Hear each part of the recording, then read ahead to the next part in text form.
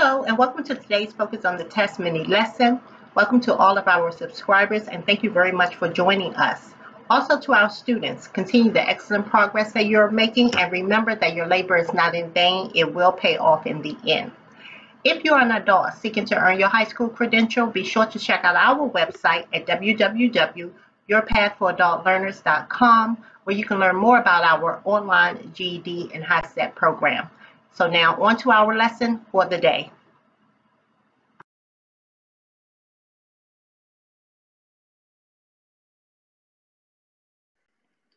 So now here's what a test item may look like. Which of these statements best describes what is shown in the graph? And here you have your graph, and then you have your three options down below. So option A states, the number of learners we've had in our college has dropped significantly over the last five years.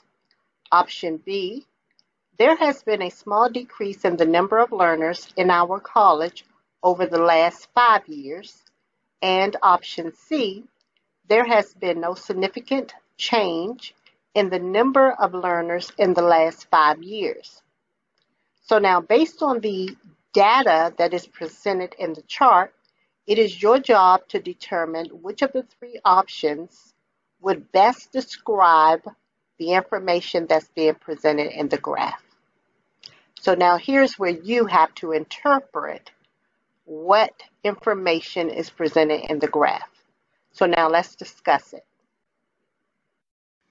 So now let's get into solving this particular problem. So as we've discussed in previous videos, you want to make sure that you always read the information on your chart or your graph or your table before you actually begin to solve any of these sort of problems. So now what we have here is we have a graph and if we first read our title, which is the first thing that you want to do, here we have number of learners in a college over five years. So this is the information that's actually being presented to us. You want to make sure that you also familiarize yourself with the other information that's on the graph as well. So here at the bottom of the graph, we have numbers that run from 0 to 6 and the word years here. So we immediately know that these are the years that are actually being represented on the, uh, on the graph. So we have 0 to 6 years. On the left side of the graph, we actually have number of learners. We, we have numbers that run from 510 to 550. So these are the number of learners, and this is the range okay, that this graph actually covers. So now that we have familiarized ourselves with the graph, we then want to look at what's being presented on the graph. So here we have a line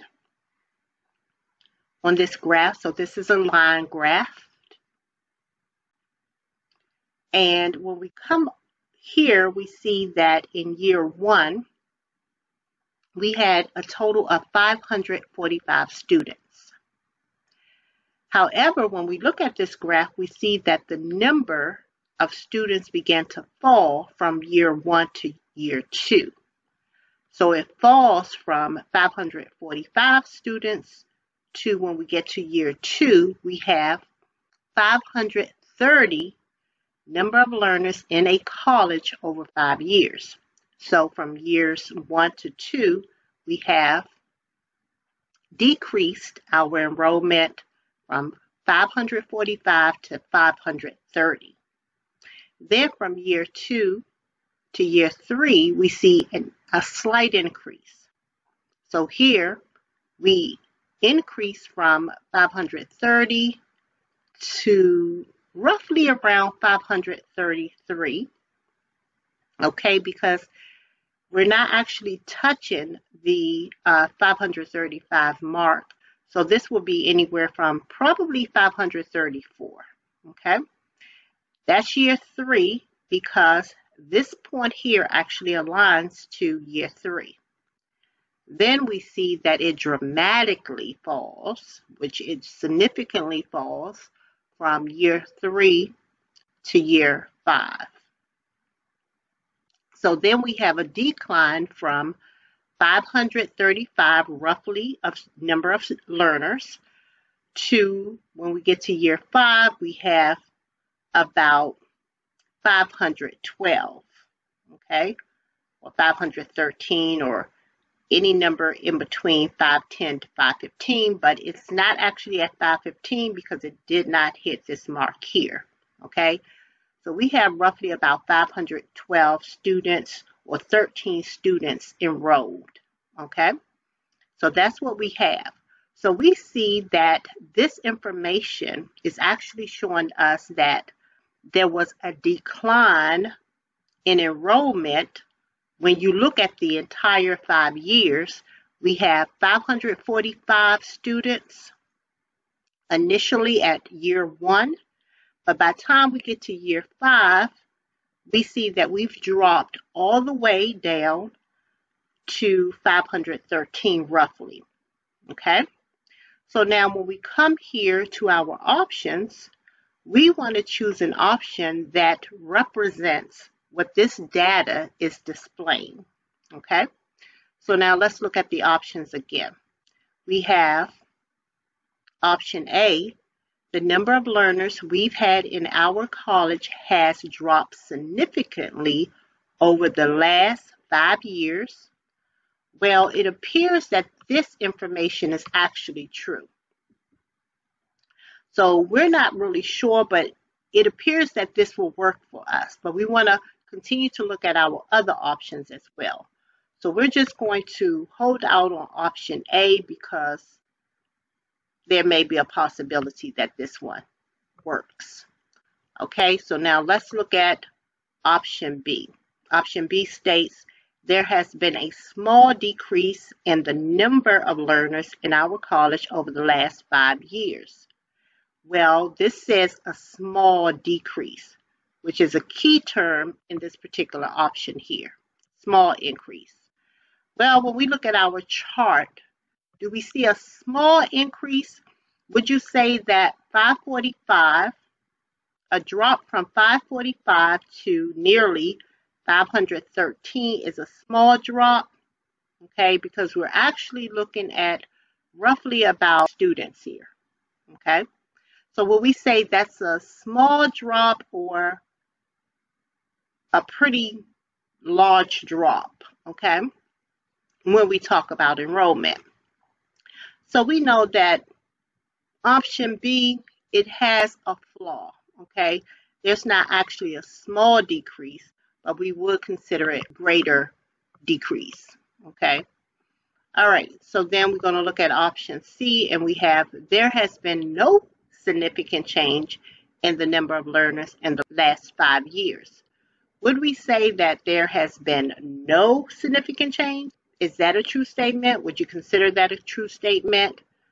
And according to our graph, again, a decrease from 545 to 513 in enrollment is not what we would consider no significant change. So we know that option C will not work. So for this particular problem, we see that option A is the better choice, okay, or is the best conclusion to draw from the data that's being presented in this particular chart. Because once again, option A states the number of learners we've had in our college has dropped significantly and that's the key term here, or key terms dropped significantly. Okay, that means that it's a noticeable change in the decrease or the decline in enrollment over the last five years. So we know that option A for this particular problem would be the correct choice. So to recap what it is that we, we've done in terms of finding the correct answer for this particular problem. And once again, we've made sure that we were familiar with the information that's being displayed in the graph, okay? Starting with our title, reading our title. Also familiarizing ourselves with the caption at the bottom and the information that's being presented at the bottom, which in this case would be the number of years running from zero to uh, six years here, but this chart actually covers um, over five years, okay, which includes the six years, okay?